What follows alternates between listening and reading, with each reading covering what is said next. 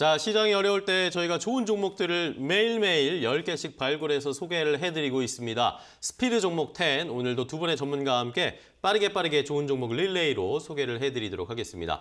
자, 오늘 함께 해 주실 두 분의 전문가 소개해드리겠습니다. 와이즈경제연구소의 차영주 소장 그리고 복토연구소의 손인호 팀장 모셨습니다. 두 분 안녕하세요.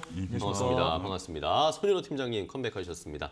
자, 오늘 또 두 분이 좋은 종목들 많이 가지고 오셨죠? 시장이 오늘도 참 어렵습니다. 개인 투자자분들이 자꾸 이 주식 시장을 떠나려고 하시는 것 같은데 그럴 때마다 두 분이 좋은 종목을 좀 선물로 주셔야 할 것 같습니다. 과연 오늘은 또 두 분이 어떤 종목을 가지고 오셨을지 많은 분들 궁금해하실 텐데요. 자, 스피드 종목 10 10가지부터 먼저 공개하겠습니다. 스피드 종목 10 10가지 종목 공개합니다. 차영주 소장의 픽부터 볼까요? SK텔레콤을 시작으로 S51, 한국토지신탁, 아미코젠, CJ, CGV 이렇게 다섯, 다섯 가지 가져오셨고요. 손여러 팀장의 픽은 종근당 바이오, 포스코 엠텍, 대한항공, KCC글라스, 영원무역 이렇게 10가지가 준비되어 있습니다. 시청자 여러분들이 이 10가지 가운데 어떤 종목이 더 관심이 가시나요?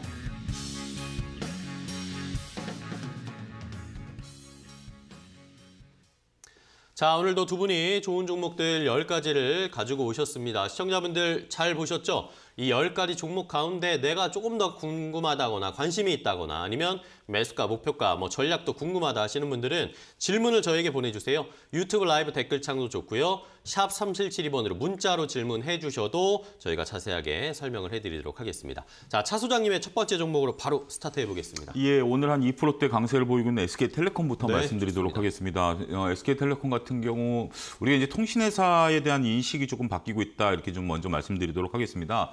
최근에 양호한 주가 흐름들 보이고 있는데요. 과거 이제 통신회사 같으면 일정한 파일을 나눠 먹는 그런 모습들을 보이면서 우리가 이제 뭐 경기 방어주 정도로밖에 생각을 안 했었는데 그렇죠. 최근에 SK텔레콤 같은 경우 움직임이 상당히 어 조금 본격적이다 이렇게 좀 설명을 드릴 수가 있을 것 같습니다. 어 여러 가지 요소들이 좀 있을 텐데요. 물론 이제 SK텔레콤이 인적 분할을 하면서 SK스퀘어와 이제 잘라냄으로써 어 일단은 뭐 통신 쪽에 이제 집중하는 모습들을 보이고 있습니다. 하지만 최근에 이제 5G 시대를 앞당기는 어 그러한 뭐 얘기들이 계속 나오고 있고요. 네. 또 메타버스를 구현하기 위한 그런 노력들을 하고 있다. 그러니까 이제 결국 우리가 이제 뭐 메타버스라든지 5G 같은 경우 이런 것들이 우리가 사물 인터넷과 향후 앞으로 이제 우리가 어 4차 산업과 관련된 부분들인데 우리가 이제 컨텐츠에 집중을 하면서 작년 가을에 이제 관련 주들이 올라가지 않았습니까? 그렇죠. 근데 결국은 지금 초기에는 이제 기술이 중요하다라는 거죠. 어, 기술이 이제 어느 정도는 중요하고 기술이 이제 어느 정도 어, 평준화된 다음에는 어, 이제 컨텐츠 싸움이 되겠죠. 그렇기 때문에 일단은 지금 통신주 위주로 이런 것들이 이제 기술을 개발하고 이런 것들을 전송할 수 있는 5G들이 어, 이제 우리가 화- 범용적으로 이제 쓰임새가 이루어져야 되겠죠. 이런 것들이 현재 지금 각광을 받기 시작했다라고 말씀드릴 수가 있겠죠.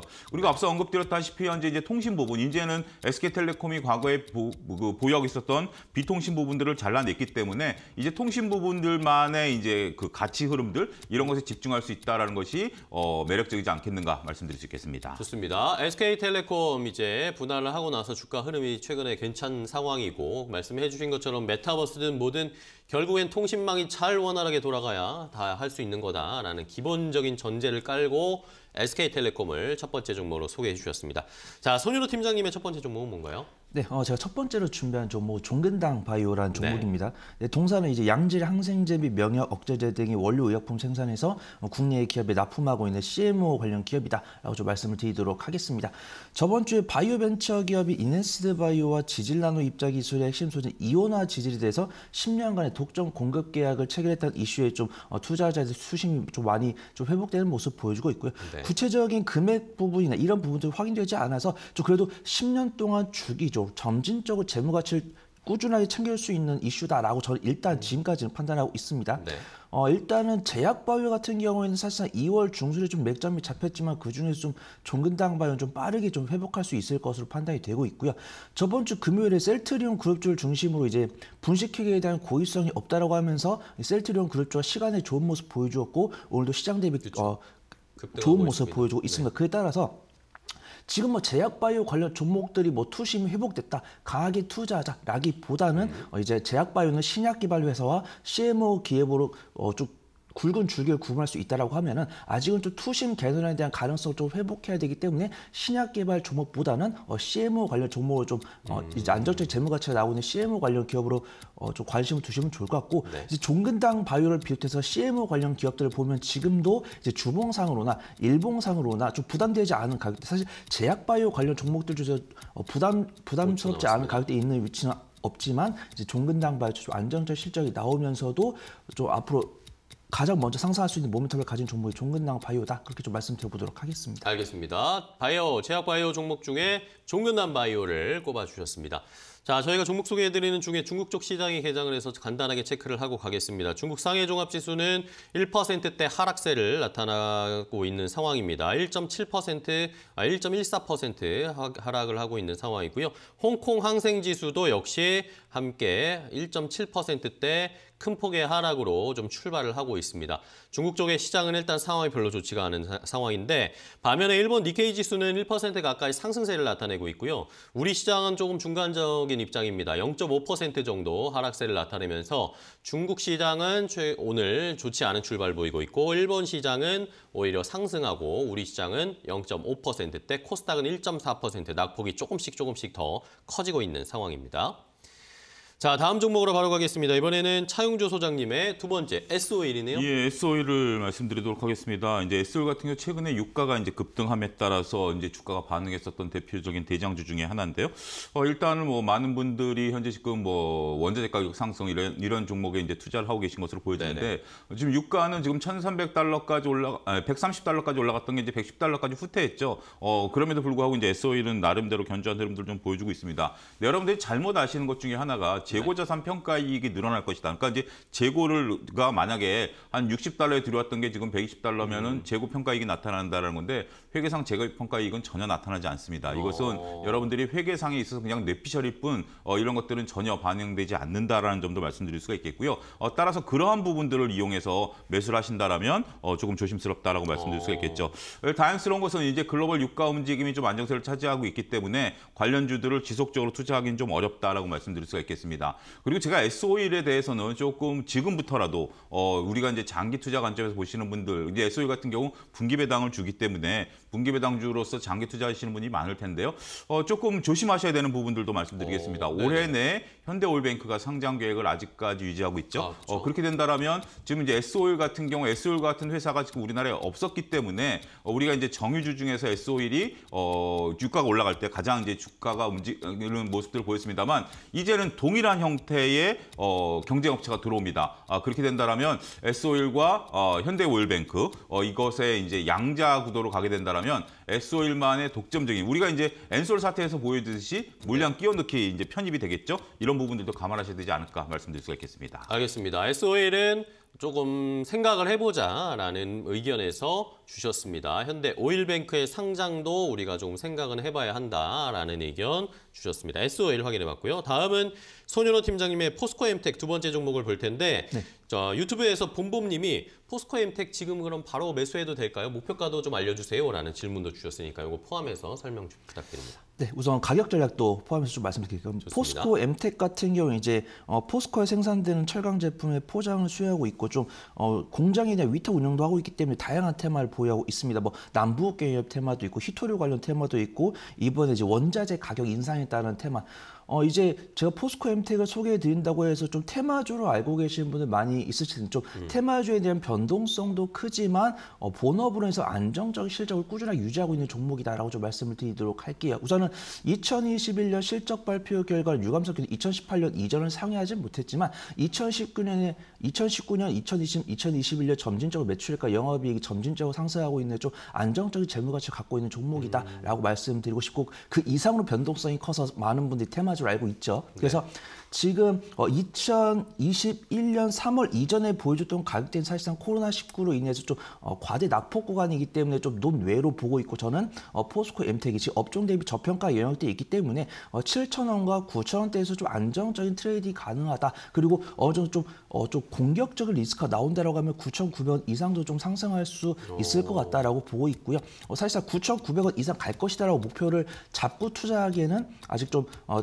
종목들 단기적 순환매가 일어나고 있기 때문에 목표가는 박스권 상단부 정도 잡고서 추가로 돌파 여부 체크하셔서 대응하시면 좋을 것 같고 일단 주가는 박스권 하단부에 있기 때문에 좀 지금 가격대에서 박스권 하단부인 어, 7천원대까지 분할 매수하시다가 오늘도 제가 어, 이제 방송 오는 길에 좀 미국에서 좀 중, 중국과 러시아에 대한 발언하는 모습들을 보여줬기 때문에 어, 이번 주에 좀 긍정적인 주가 흐름 보이지 않을까 그렇게 좀 말씀드려보도록 하겠습니다. 알겠습니다. 포스코 엠텍에 대한 자세한 전략 손연호 팀장님이 소개해 주셨고요. 다음 차영조 소장님의 세 번째 종목 가겠습니다. 어, 한국 토지 신탁입니다. 네. 뭐, 뭐 주 가 움직임이 그렇게 드라마틱하게 움직이지 않았었던 종목인데 어제 이제 금요일 날 좀 상승했고 오늘도 한 2%대 상승 흐름들을 나타내고 있습니다.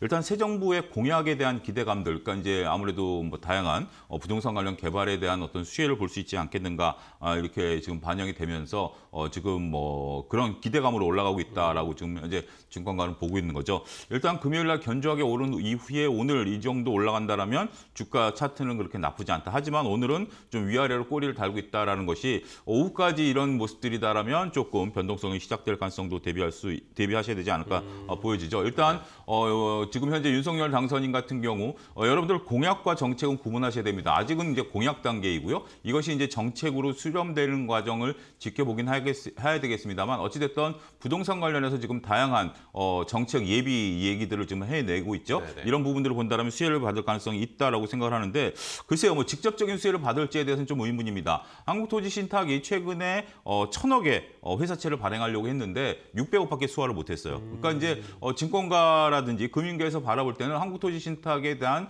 재무 안전성에 조금 불안감을 나타내는 게 사실입니다. 아, 따라서 지금 기대감만 가지고 우리가 한국토지신탁을 접근하기에는 어, 조금 조심스럽다. 아, 그러니까 결국 본질적인 가치에 집중하시는 면도 필요하지 않겠는가 말씀드릴 수가 있겠습니다. 알겠습니다. 한국토지신탁까지 설명을 들어봤고요. 이번에는 손연호 팀장님 세 번째 종목입니다. 네, 어, 제가 세 번째로 준비한 종목 대한항공입니다. 대한항공이요? 아마 어, 모르시는 분들 안 계실 텐데 단순하게 항공업만 유행, 어, 하- 영위하고 있는 회사가 아닙니다. 어, 항공기 설계 및 제작, 위성체 등의 연구 개발을 수행하고 있는 항공우주 사업 등을 영위하고 있기 때문에 어, 지금 새로운 어, 이제 정부의 등장에 따라서 수혜를 입을 수 있을 것으로 판단이 되고 있고 아시아나 항공과의 조건부 합병 승인이 나왔기 때문에 어제 뉴스를 찾아보니까 어떤 그 대한항공과 아시아항공 이름을 딴 LCC 회사가 나올 수 있다라는 부분 때문에 좀 추가적인 주가 부여 모멘텀 단순하게 이런 reopening이나 여행 수요에 대한 회복 외에도 좀 어, 다양하게 주가가 상승할 수 있는 모멘텀 보유한 기업이 아닌가 그렇게 좀 판단하고 있습니다. 네. 어, 아무래도 좀 뭐 지금 방송하는 이런 방송들이 뭐 수익률 대회였다라고 하면 제가 좀 공격적인 종목을 갖고 올 수도 있겠지만 어제 네. 좀이 방송 시청 하시는 분들이 좀 trading skill이 좀 부족하다는 판단에 좀 안정적인 종목을 좀 드는 게 좋을 것 같다라고 해서 대한항공을 갖고 왔고요. 항공 관련 종목들 중에서 변동성이 큰 종목들이 충분히 많지만 저 안정성 입장에서 대한항공을 준비했고 2021년 2, 4분기 이후로 흑자 전환 어, 성공했고 2021년 연간 실적도 흑자로 전환했습니다. 그리고 증권사 개통에서도 2022년 1, 4분기 영업이익 역시도 5,553억 원으로 어, 시장 기대치 웃돌 것으로 판단되면서 증권사에서 적극적으로 매수하는 리포트가 있기 때문에 좀 저는 매수해봐도 좋을 것 같다라고 판단되고 있고요. 네. 어, 시장 대비 견조하게 박스권을 단단하게 어, 지지하고 있고 박스권 하단부를 이탈하려고 할 때마다 기관의 순매수가 들어오고 있기 때문에 좀 안정적인 reopening 수혜주 그다음에 개별 모멘텀을 어, 좋아하시는 분이라고 하면 대한항공 좀 지켜보셔도 좋지 않을까 그렇게 좀 말씀드려보도록 하겠습니다. 알겠습니다. 대한항공까지 종목 소개해드렸습니다. 자, 다음 종목 바로 가겠습니다. 차영주 소장님 네 번째 종목이죠. 어, 예, 아미코젠이라는 아미코젠. 예, 제약바이오 업체입니다. 아미코젠 같은 경우 국내 이제 효소, 이제 이 효소라는 게 어, 우리가 이제 뭐 동 그 신약을 개발한다라든지 아니면 뭐 우리가 이제 시밀러를 생산하는 데 있어서 꼭 필수적인 거죠. 우리가 이제 어, 그 효소들 속에다가 이제 뭐그 약 이제 그걸 통해서 약을 개발하는 건데 이게 그 해외에서 이제 많은 양을 수입해 오다가 이제 아미코젠이 우리나라에서 독자적으로 이제 이런 것을 개발한 지가 오. 벌써 업력이 좀 됐습니다. 네네. 어, 그런 것들이 이제 두각을 나타낸다라고 보여지고요. 어, 오늘 같은 경우 이제 주가가 한 9% 정도 급등을 했어요. 저는 이제 아침에 이제 이 자료를 준비하면서 이제 주가 시장이 열리기 전에 아미코젠에 대한 어떤 어, 급등을 오늘 좀 생각을 해봤는데 왜냐하면 아미코젠 뭐 이게 뭐 기사인지 홍보인지 모를 어, 그런 그 대표이사의 어떤 사진과 더불어서 어, 이게 이제 모 언론에 이제 소개가 아, 됐습니다. 예, 예. 어, 그렇기 때문에 결국 아미코젠 입장에서도 이게 뭐 우리가 어 그냥 우연찮게 이게 나온 것은 아니겠 그 기사를 쓴 건 아니겠죠. 어 기- 회사의 이제 홍보와 이제 기사의 어떤 욕구가 마주쳤다라는 현실을 좀 말씀드리도록 하겠고요. 어 이런 걸 토대로 해서 오늘 뭐 주가의 몰이를 좀 하고 있다 이렇게 좀 말씀드릴 수가 있겠습니다.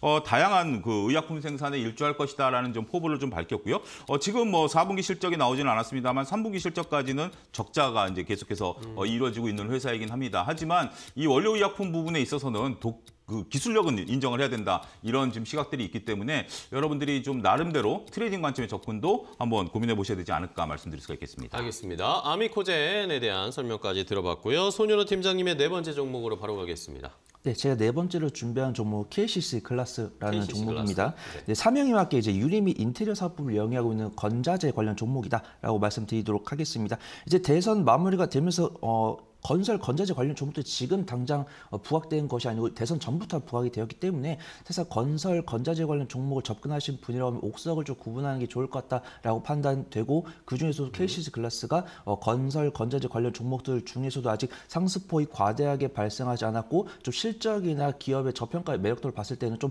추가적인 상승 매력도 아직은 좀 있는 종목이 아닌가라고 판단됩니다. 저번 주 이제 목금의 외인과 기관의 쌍끌이 순매수가 나오면서 좀 장대 양봉 나오는 모습 보여주었고 오늘 그런 부분에 따라서 단기적인 피로도가 나오면서 오늘 좀 시장 시장 상황 고려해서 좀 음봉이 나온다고 하면 제가 네네. 어좀 그래도 발, 발목을 좀 긍정적으로 담가 볼 수 있는 종목이 아닌가라고 판단되고 있는데 오늘 시장 대비 더욱 더 견전 모습 보여주고 있기 때문에 좀 발목을 반드시 담가 봐야 되는 모습이고 그렇다고 해서 제가 발목을 담그라고 말씀드렸지만 크게 비중을 두기보다 나중에 눌림목을 만들고 다시 상승할 수 있는 부분이 있기 때문에 오늘은 발목만 담가 주시고 나중에 눌림목에서 추가 매수하는 관점으로 좀 어, 바라봐 주시고 다른 건설 관련 종목들 중에서 업종 대비 저평가 매력도가 상당합니다. 업종포가 33.31인 대비해서 어퍼가 4.27로 거의 실적 기준으로 8분의 1가량 저평가를 갖고 있습니다. 건설 관련 종목들은 자산 기준으로 저평가 매력도를 보유하고 있는 종목들은 상당한데 실적 기준으로 저평가 매력도를 맞습니다. 보유하고 있는 종목들 많지 않거든요. 그런 부분에서 어, KCC 글라스 좀 긍정적으로 볼 수 있는 종목이 아닐까 그렇게 좀 말씀드려보도록 하겠습니다. 알겠습니다. KCC 글라스까지 소개를 들어봤고요. 자 이번에는 차영주 소장님의 마지막 종목이네요. 어, 예, 마지막 종목은 저도 reopening 관련주 CJ CGV를 좀 말씀드리도록 어, 예. 하겠습니다. 일단은 어, 오늘 새벽에 나온 뉴스 같은데요. 일단 주말에 나온 뉴스는 제가 확인은 안 해봤습니다. 어쨌든 이제 어, 글로벌 그, 그, 이 코로나를 통제하는 쪽에서 어, 이것을 해제해야 되지 않겠는가 이제 그, 그런 얘기들이 이제 어, 서서히 흘러나왔습니다. 그러니까 이제 전반적으로 뭐 코로나 확진자 수가 이제 급감하고 있는 뭐 나라들이 이제 나타나기 시작했고요. 우리도 지금 현재는 뭐 아직까지는 굉장히 불안하죠. 정말 곳곳에 코로나 환자들이 지금 나타나고 있기 때문에 피크아웃을 가는 단계라는 데 대해서는 다들 동의를 하실 것 같습니다. 네. 아, 따라서 그러한 부분들을 감안하게 된다라면 어, 전체적으로 봤을 때 우리가 이제는 조금 어, 준비를 해야 되지 않겠는가. 뭘 당장 우리가 모든 것을 이제 법 그 규정이라든지 이런 것들을 풀어놨다고 해서 어, 당장 움직일 수 있는 것은 아니죠. 하지만 이제는 어, 서서히 그 시점이 다가오고 있다. 그렇다면 주가는 선반영돼서 움직일 가능성이 있다라고 보여지고요. 그렇다면 수혜를 뭘 볼 것인가. 물론 이제 여행 관련주들도 중요하긴 합니다만 여행 관련주 같은 경우 외국인들이 들어와 줘야 된다라는 거죠. 물론 우리가 이제 어, 자가격리를 면제하긴 했 습니다만 아직까지 외국인들이 들어올 만한 요소. 지금 미국이 우리나라를 4단계 지금 유지하고 있지 않습니까? 이런 것들이 이제 선언적으로 풀어져야 되겠죠. 이제 어, 새로운 대통령께서 이걸 외교적으로 풀으실 것으로 기대를 하고 있고요. 하지만 그렇지 않더라도 내수가 이제 살아나는 어, CJ, CGV 같은 종목에 대해서는 관심을 가지셔도 되지 않을까 말씀드릴 수가 있겠습니다. 알겠습니다. 자 reopening 관련 종목 중에 CJ CGV를 마지막 종목으로 소개해 주셨고요. 손 팀장님의 마지막 종목은 뭘까요? 네, 제가 마지막으로 준비한 종목 영원무역입니다. 영원무역? 네, 네, 저 저번 주에 말씀드렸던 이마트를 다시 한번 말씀드리려고 하다가 어, 주가 네. 상승세가 너무 좋아서 다른 종목을 갖고 왔습니다. 일단 좋습니다. 영원무역도 마, 마찬가지로 reopening 관련 종목들 중에서도 음식료품, 의류 관련 종목이다라고 좀 말씀드리고 싶은데 우선은 뭐 여행, 항공, 화장품 같은 경우 변동성이 강하기 때문에 좀 trading skill이 있으신 분들이 좀 접근하시기 좋을 것 같고 이 방송을 시청하시는 분들 중에서 trading skill이라고는 하나도 없으신 분이라고 하면 이마트와 더불어서 영원무역도 좀 괜찮을 것 같다라고 어, 좀 네. 말씀을 드리도록 하겠습니다. 저번 주에 이제 실적 발표인데 earning surprise를 발생하면서 업종 대비 저평가 매력도 더욱더 커질 것 같습니다. 그를 바탕으로 해서 증권사에서도 지속적으로 매수 의견을 어, 내는 리포트를 꾸준하게 발생하고 있고요. 어, 뭐 reopening 관련주, 음식료품 관련주 종목들 중에서 저평가 매력도를 갖고 있는 종목을 찾기 쉽지 않다라고 말씀드렸는데 이마트와 더불어서 영원무역도 저평가 매력도를 갖고 있는 어, 의류 관련 종목이다라고 말씀드리겠고요. 12개월 선행 PER가 지금보다 더 낮아지기 때문에 현재 PER가 12.93인데 12개월 선행 PER가 6.58이기 때문에 업종 대비 저평가 매력도 더욱더 클 수 있는 종목이고 외인과 기관에 의해서 저점을 단단하게 어, 다지고 있는 그런 종목이다라고 좀 말씀드려보도록 하겠습니다. 알겠습니다. 자, 영원무역까지 두 분의 전문가께서 10가지 종목을 빠르게 빠르게 자세하게 소개를 해 주셨습니다. 그러면 이제 마지막으로 두 분이 골라주시는 top pick 종목을 들어볼 텐데요. 차영주 소장님의 pick 궁금합니다. 어, 저는 이제 바닥에서 오늘 들어주는 아미코젠을 토픽 아미코젠. 종목으로 선정하도록 하겠습니다. 알겠습니다. 아미코젠 주셨고요. 손윤호 팀장님은? 저는 마지막에 소개해드릴 영업무역 말씀드리도록 하겠습니다. 제가 좋은 종목 바로 사야 되는 종목 말씀드릴 때 말이 제일 빨라지거든요. 오늘 영업무역 말씀드릴 때 말이 제일 빨랐습니다. 네, 쏙싹 랩을 해주셨습니다. 아, 예, 유익 있게 지켜보시면 좋을 듯 합니다. 알겠습니다. 영업무역과 아미코젠 두 분이 오늘 시장에서 좀 잘 봐야 된다라고 꼽아주셨으니까요. 시장에서 한번 지켜보도록 하겠습니다. 자, 두 분 오늘 좋은 종목 소개해 주셔서 감사하고요. 또 다음 시간에 뵙도록 하겠습니다. 고생 많으셨습니다. 고맙습니다. 감사합니다. 고맙습니다.